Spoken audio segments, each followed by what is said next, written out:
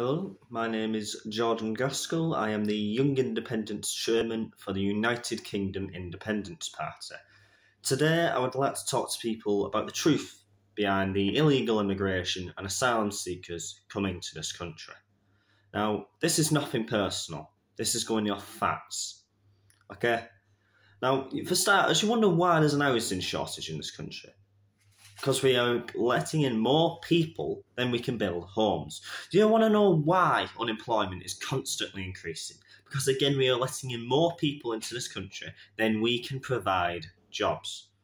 Now, you've got to be realistic here. You can't allow feelings to get in the way. You have to think logically when dealing with these situations. It's not I'm not sympathetic to some of the people coming over. It's the fact that we are full up and cannot possibly support so many people with the infrastructure of this country. Now, there's rules in regards to asylum seeking for refugees to obey. Now, you're supposed to seek asylum in the first safe country that you reach. And many of these are not doing that. Let's say for Syria, for example. Let's use that as an example, one of the closest options we can. To get here, you have to go through Turkey, which is a safe country, then through Greece, then through Bulgaria, then through Romania, then to Hungary, then to Austria, then to Germany, and to actually get across the channel safely, for the most part, through France. And even then, it's not guaranteed safety for you which is an unnecessary journey as it is to go through another country there. It's unnecessary to begin with because you've already gone through countless safe countries. And of course, as many have seen, there's been many deaths in the channel, which is quite unfortunate. But this is why we have to make a stand to stop people coming through over the channel. Once you've gone through all those countries to get here, you are no longer seeking asylum, you are no longer a refugee. You are an economic migrant. That is where it's different. This is not meant to be personal or offensive, it's honest. If you go through countless safe countries and then say you're trying to flee danger, then you're no longer fleeing danger.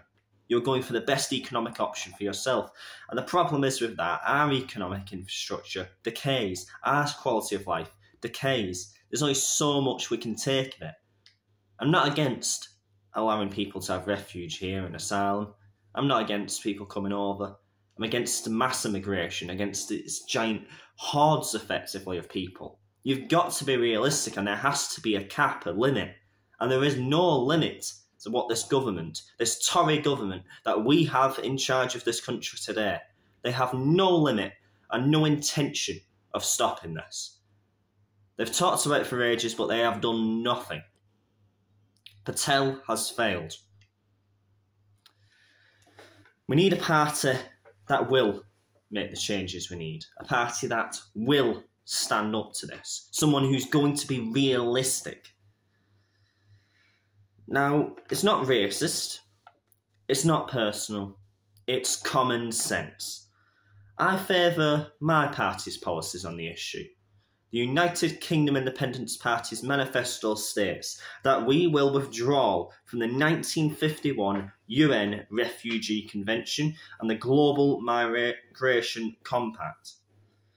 Now, as it states in the UKIP manifesto, that's what we're exactly going to do with a few other treaties we will withdraw from. This isn't meaning that we're going to completely stop anybody from coming into the country. It means we're going to have a sensible and realistic cap, just like we need. It'll give us the power to stand up to people coming over and give us the legal free will to actually act on the matter. It's time for common sense. It's time for a party like UKIP. It's time for some realistic change. Thank you very much for watching.